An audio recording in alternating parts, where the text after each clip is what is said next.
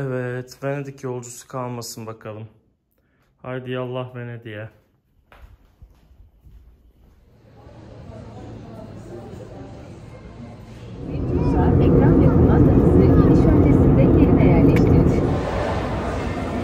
Bu Pretto'muza giden o yürüyen merdivendeyim. Bir yıl sonra yeniden.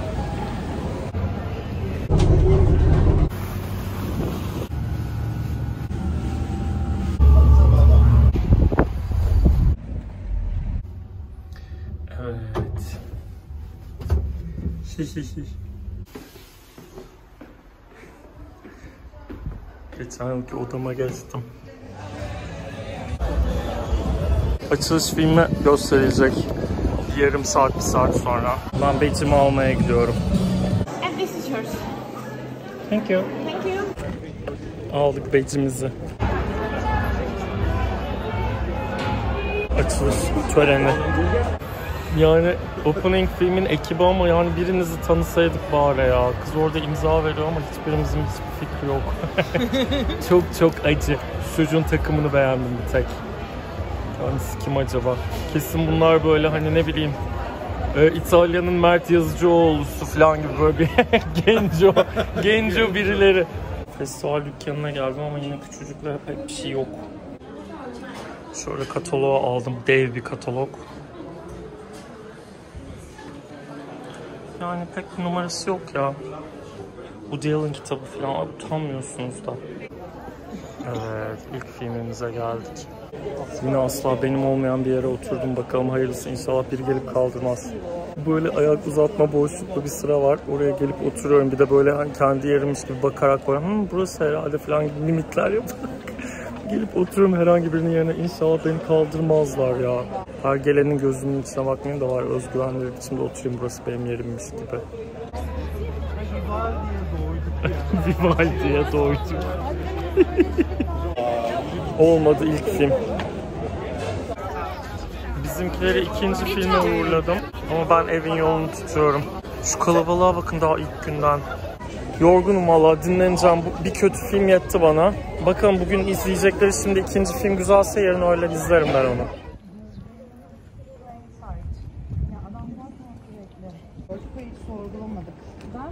İnanılmaz. Bak Venedik dersin, Glam'in kalbi dersin, çalı süpürgesiyle halı temizliyor adam.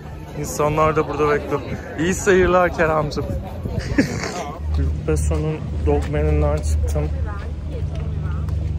Wow. Bu yıl Venedik'imiz birazcık hayal kırıklığıyla başladı. yani yarışmadaki ilk üç filmde yarışma materyali değil. Yani Luc Besson bu arada abartılı derecede kötüydü. İnanamıyorum gerçekten. Çok tuhaf. Ya ama şu şu ortam yeter be sanki. E, bu arada bir e, yani basın ve endüstri dışında başka beci olan insanlar var ve onlar böyle sinefil gibi e, bir kategoride sanırım E, ve çok sayıdalar. Yani bu yıl badge sistemi değişmiş sanırım burada. Çünkü çok fazla endüstri ve basın dışında e, seyirci var. Normalde bilet seyirci sayısı azdır ya e, böyle büyük festivallerde. O açıdan böyle garip bir kalabalık var her yerde. E, geçtiğimiz yıl böyle bir şey yoktu mesela. Ondan önceki yıllarda da yokmuş. Tabii bence o şey seyir tecrübesini de etkiliyor. Mesela Luc Besson bayağı alkışlandı. Delice. Yani normalde hani büyük festivallerde yarışmada bu tipte kötü bir film olduğunda yuhalanırdı yani. Şaşırdım. Neyse. Kabalığın kazanmaması iyi bir şey diyelim. Bu arada ortalığı çok çekmiyorum çünkü geçen yıl e, Venedik Film Festivali'nden iki tane vlog yayınlamıştım. Orada bütün sistemi anlatıyorum. Festival ortamı aynı yani aslında. O yüzden e, o videoları direkt izleyebilirsiniz. Ortamı çok merak ediyorsanız. Geçen yıldan farklı olarak gördüğüm şeyleri çekerim tabii ki. Şimdi akşam 8'e kadar filmim yok. Sabahki ilk filmi ve dünkü açılış filmini yazacağım. Birazcık dergiye, Band magazine yazıları yetiştireyim bakalım günü gününe. Becerebilecek miyim bu sefer? Evet, bu sabahki filmlerden sonra eve gidip bolca dinlendim ve e, yazılarımı yazdım. Şimdi üçüncü ve dördüncü filmlerimi izleyeceğim. Son filmim, gecenin son filmi Wes Anderson'ın 40 dakikalık orta metrajı. Bakalım nasıl bir şey merak içindeyim. Bu bütün e, sokağın kirini, pasını, elbisesini paçasıyla süpüren e, hanımefendinin eşliğinde söyleyeyim. Wes Anderson'ın kısası gayet tatlı. Ee, yakında galiba Netflix'te var. Ferrari izledik bu arada. Yani ana yarışmada yeri yoktu ama tatlıydı o da. Günaydın. Poor Things'e geldik. Bakalım festivalin en merak ettiğim filmi. Çok ümitliyim.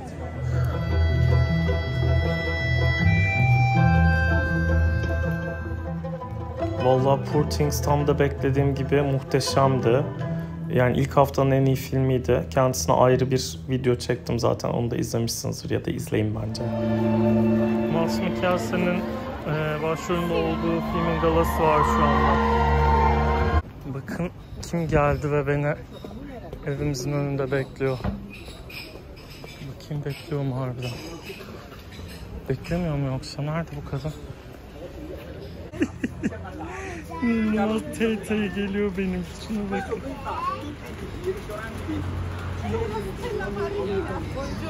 Buongiorno. Bir artık dünya vatandaşıdır arkadaşım ya. Ay ay ay ay. Menajer gibi menajer sana helal olsun. Sadece benim için kalkıp buralara kadar gel. Asla Tansu'nun da filmi olduğu için değil. Benim için değil. Asla. okay. Um, two of them and Ortama bakın çabuk.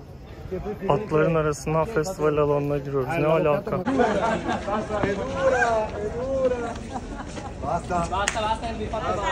Va bene.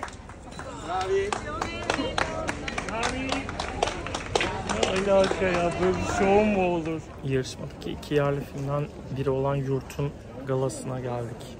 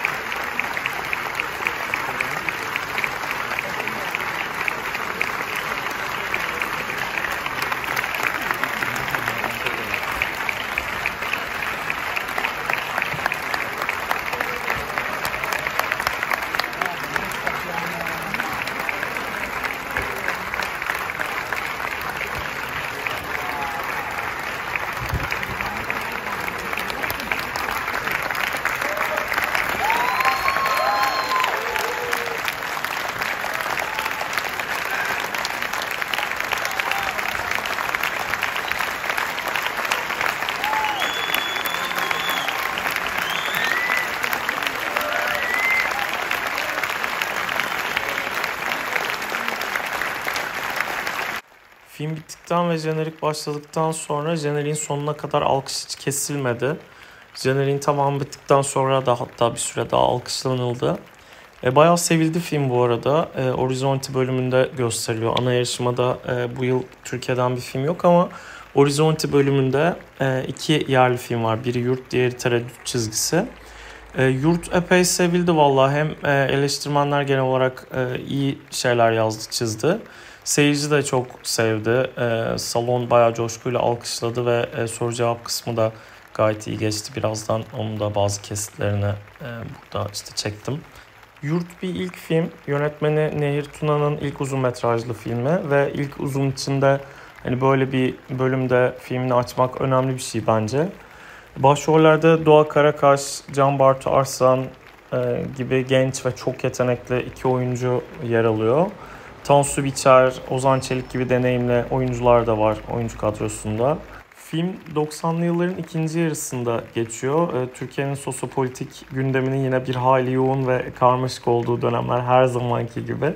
Ve yani yine e, öteki e, kimliğine sahip kimseye çok harika e, davranılmadığı, herkesin kendini çok rahat hissedemediği dönemlerden birinde geçiyor. Yani çok fazla filmin hikayesine ya da hikayelerine diyeyim yan hikayelerine ve ana hikayesine dair çok bir şey söylemek istemiyorum. Ben çünkü filmi hiçbir şey bilmeden izledim hakkında. Öyle izlemenin biraz daha iyi olacağını düşünüyorum. Herkes filmi izledikten sonra üzerine uzun uzun konuşup tartışmak daha zevkli olacaktır benim için de. Bu da bir de bir film review videosu değil. O yüzden başka zaman anlatırım düşüncelerimi.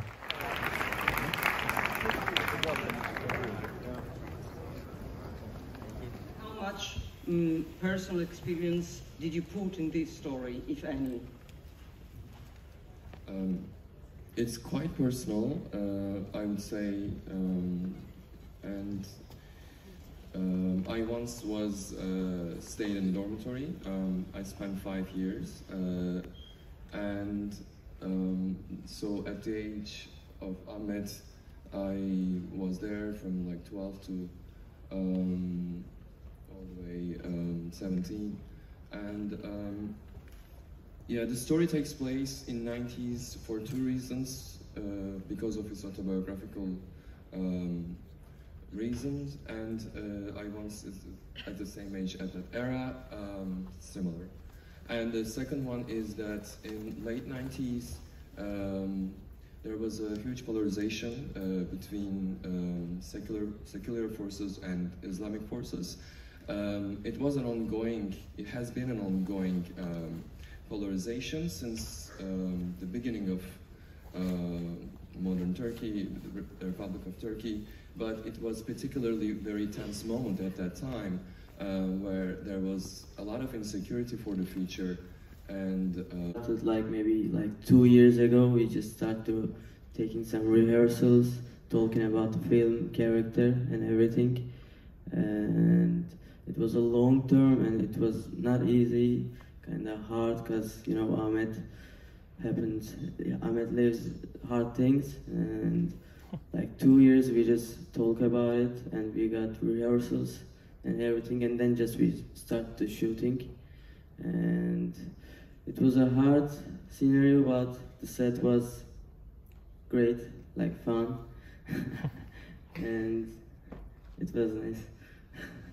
Karakter hazırlanırken e, dönemin müziklerini ve dönemin o dönemin içerisindeki e, aile büyüklerimin yaşadığı olaylardan, onlardan dinleyerek, onlardan duyarak aslında e, çalıştım ve o şekilde ilerledim. E, Se l'interprete non traduce dal turco, mi scuso. Tradu- traduce il regista, non c'è. Kendini kes. Arkadaşlar eee, yurt ekibinin yanına diye geldik. O mekanın yanındaki bir yere girdik. Yanlışlıkla Hollywood Reporter'ın partisi varmış. Hiç hiç çaktırmadan bu partide insanları tanıyor gibi takılıyoruz. Yemeklerini de yedik. Yemeğini ye- yedik. Ya helal edin kardeşim. Ben paralı üyelik almıştım bir ara. Ona saymalarını umuyorum. Gerçekten. Birileriyle so- hoş beş ettim. Ay selam, ne haber falan gibi. Tuvaletlerini de kullandık. Vallahi helal et. Gözlüğümü dün akşam bir yerlerde unuttuğumu fark ettim. Ama bu sabah 8.30'da David Fincher'ın son filmini izlemeye gelmeme engel olmadı. Cümleye bakın. Hadi bakalım iyi çık be Fincher.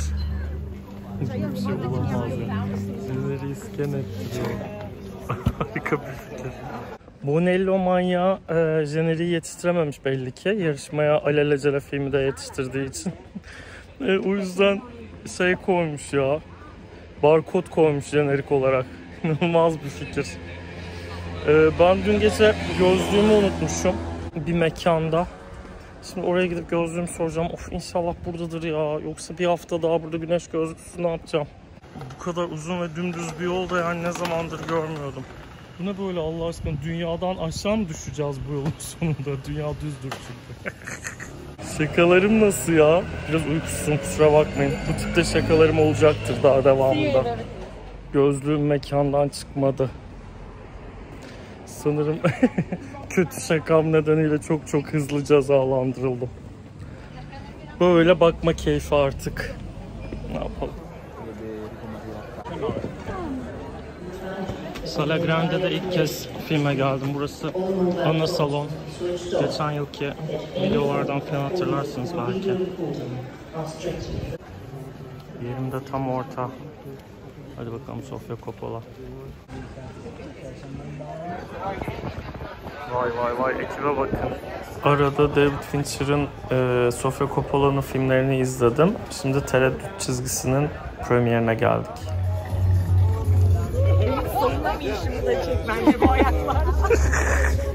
Çok iyi gidiyorsun.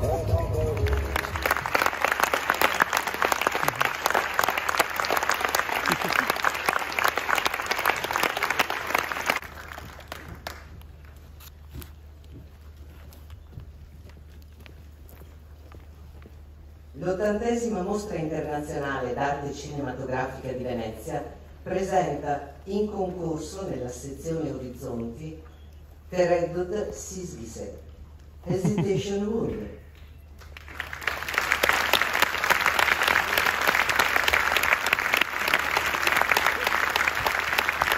Sono presenti in sala gli interpreti Zeynep Tuzun,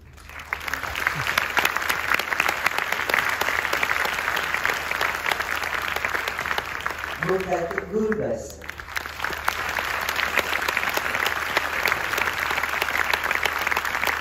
Okana Avcı,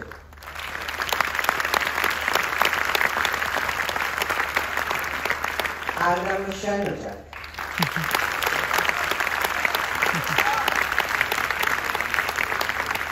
Gülçin Kurtuş Serhani,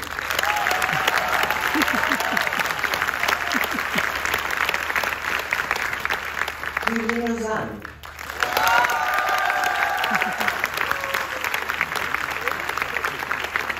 il regista Salman Najat.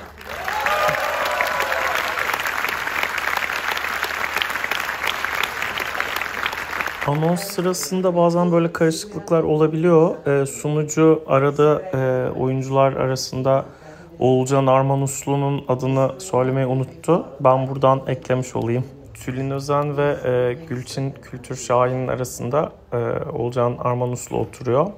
O da filmin başrol oyuncularından biri.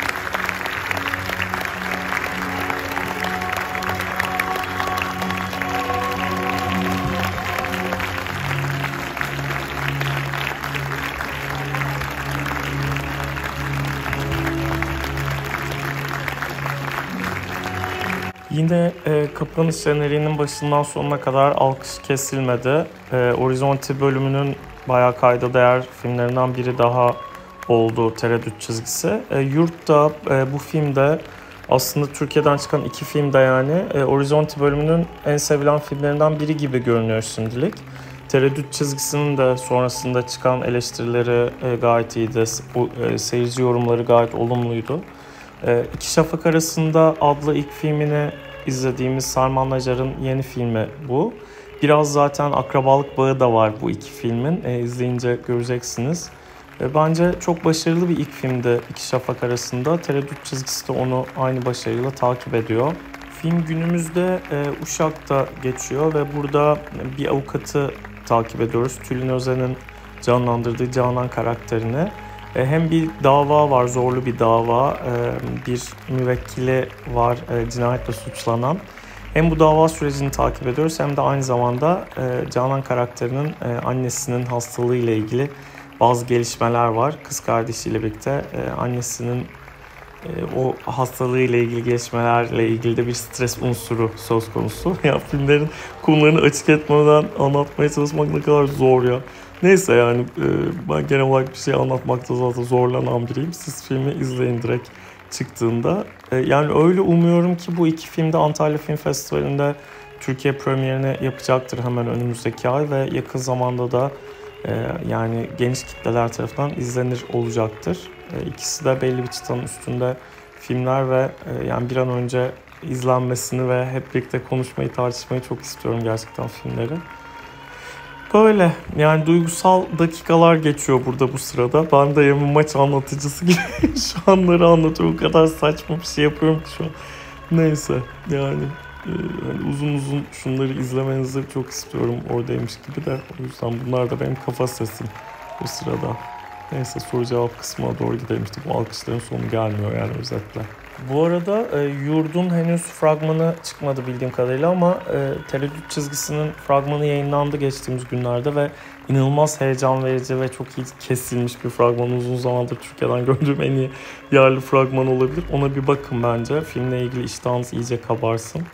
E, bu arada Oğulcan Armanuslu e, da, davalıyı oynuyor. Yani işte cinayetle suçlanan genç adamı. E, Gülçin Kültür Şahin Tülin Özen'in kız kardeşini canlandırıyor. Ve Erdem Şen Ocak karşı tarafın yani davacı tarafın avukatını canlandırıyor ve iki şafak arasındaki karakter zaten fragmanda da görebileceksinizdir ki rahatlıkla. E, bu iki film e, o noktada da aslında birbirine bağlanıyor denebilir.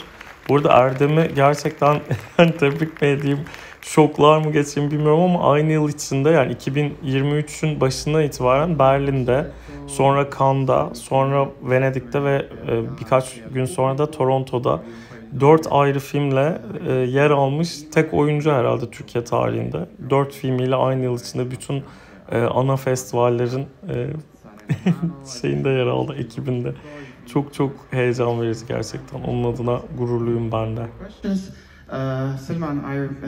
Thank you so much. First of all, I'm a bit emotional and um, sorry. Uh, uh, hesitation won't uh, has many relation for me with the film. Uh, first of all, uh, we were looking for a word uh, for this film with my actors when I was writing before going to set, and I found that it's hesitation because the main character is hesitate, hesitating in many matters because. Um, first of all, I want to say it was a pleasure working with you, and because he really appreciates actors' mind and way of looking at things, way of looking at the script, and so he appreciated all my ideas. He gave importance to every word I say, so it was it was a gift for me. So I want to thank him for that.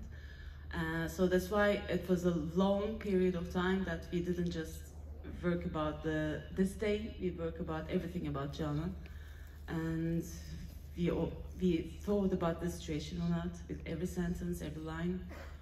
Uh, we really, I mean, sometimes we share the same idea, but in the end, this is what he ends up with. Ee, Musa aslında susan ve açık vermeyen biri. Genel olarak e, yani ben birazcık benim e, hapishanem neresi diye düşündüm.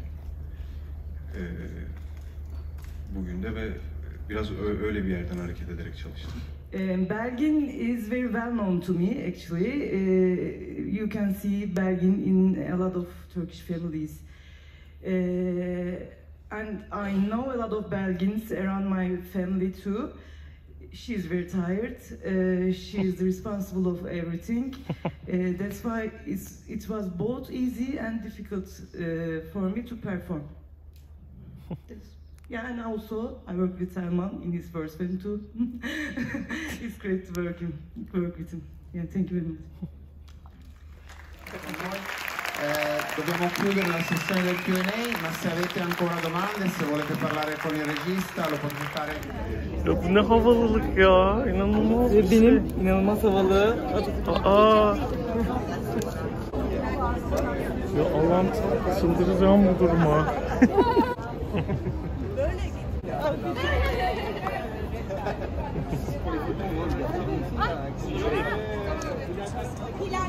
Çok tatlı ya.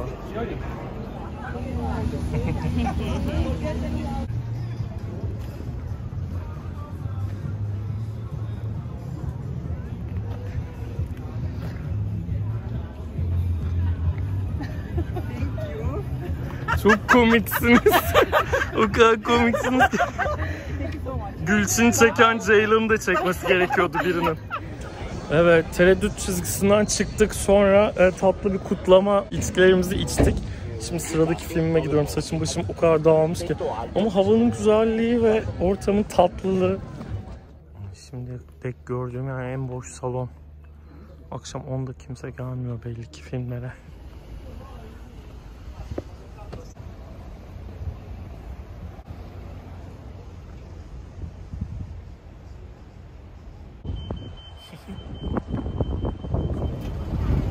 Ana karaya geldi.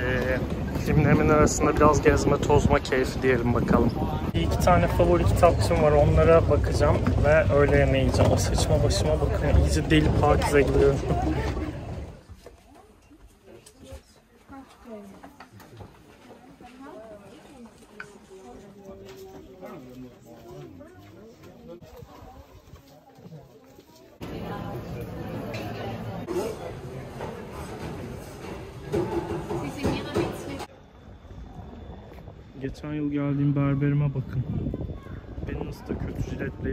kommst.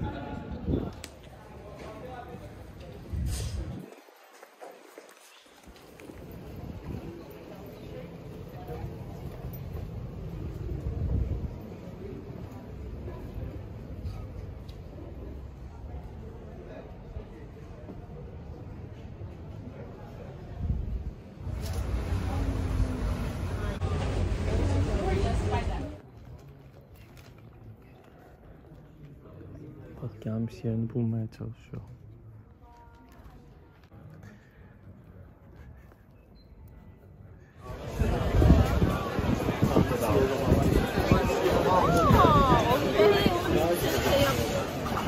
Evet, eve geldim. Tabii Venedik Film Festivali de çok güzel, iyi, hoş. Ama e, Kızılcık Şerbeti'nin yeni bölüm fragmanı, yeni sezon tanıtımı çıkmış. Yani kimse kusura bakmasın. Şu an açıp onu izleyeceğim. Of of of. Eyvah Fatih'e parmaklar kalkıyor. İzleyelim bakın. Değil. Onlar kendi yollarını izleyen hayatın oğulları ve kızları. Bedenlerini tutabilirsiniz. Bir dakika bu e, Halil Cibran değil mi bu? Hatırlıyorum ben bunu. Ta ne, nereden hatırlıyorum musunuz? yıllar yıllar önce Canım Ailem dizisinde Uğur Yücel okuyordu bu şiiri. E, to- şey yeğenlerine galiba. Oradan Ama ruhlarını değil. Aha Ömer Bey hayatta. birini Kıvılcım da öldürecek değilsin. maalesef kaybettik. Çünkü ruhları Biz bebeğimizi kaybettik.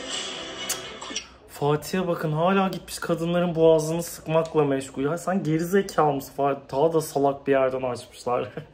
Yeni sezonda Fatih. Gitmiş yani yattı aldat karısını aldattı kadın boğazını sıkıyor senin yüzünden diye. Aptal. Ne olmuş yani Fatih bir çapkınlık yaptı diye. Kızım bu Pembede de yine şeye sürülecek akıl yok. Çapkınlık diyor. anca bir vicdansız. Oğlumuz olacak o aşağılık herif nerede? Şamarı yedi Fatih. Sezonun ilk şamarını yedi. Kızılcık şerbeti yeni Şimdi tabii beklediğimiz fragman bu değil ama hoş bir tanıtım. Tabii ki yine bir heyecanlandık. Ee, daha bunun heyecanlısı gelir. Ee, bölümün yayın tarihine var daha iki hafta. Yok bir hafta falan. Allah Allah. Yani şimdi tabii daha oyuncuların e, yanmış tenini açmakla meşguller. Daha ilk iki bölüm bununla geçer. Ee, video sonsuza gidiyor. ben bu Venedik Film Festivali videosunu burada kapatalım. Artık Kızıldık Şerbeti'ne falan düşmüşüm çünkü belli ki. Sonra birkaç güne döneceğim ben de. 3-4 gün sonra İstanbul'dayım. Ee, bu video böyle olsun. Son olarak şey de söyleyeyim ben bu filmlerin hepsiyle ilgili yazmaya çalışıyorum elimden geldiği kadar banta. Ee, The Killer, David Fincher'ın Killer'ını da sevdim ama en iyi filmlerinden biri değil bence. Ee, Sofia Coppola'nın Priscilla'sı tam bir hayal kırıklığıydı. Sonra Bradley Cooper'ın Maestro'su yani ben bayılmadım. Gibi gibi. E, hepsini de Letterboxd'da puanlıyorum falan falan kendimce yani. E, kısa kısa cümleler yazıyorum. Bakarsınız merak edene e, ulaşması zor değil arkadaşlar. Duyguları, düşünceleri, e, yorumları dergilerden oradan buradan her yerden bakarsınız herkesin yorumlarına işte. Heyecanla bekliyoruz bu filmleri. Bir de bunları nereden izleyeceğiz, nereden izleyeceğiz soruları var. Bazı filmler dijital platformlarda açılıyor. Zaten onların hemen e, posterlerinde bile görebilirsiniz nerede olduklarını. Ve onun dışındakileri de film ekimine bekliyoruz en yakın İstanbul'dakiler için. Onun dışında işte Antalya, Adana, Ayvalık bildiğim kadarıyla yakın zamanda e, bu filmlerden bazılarını görebileceğimiz festivaller gibi sanki. Bakarız yani yıl boyu izleriz nasıl olsa. Böyle. Şimdi artık gönül rahatlığıyla kapatabilirim bu videoyu. Haydi bakalım selametle. Fena olmadı ya sanki yarım saatlik video işte. Güzel. Abi Venedik'in de özeti bu biliyor musunuz? Daha da bundan fazla çok zaten zayıf bir yıl. Biraz program açısından aramızda kalsın. E bakalım böyle. Öptüm herkes. Öptüm mü? Ben niye kapatamıyorum videoları ya? Neyse hadi. Bye.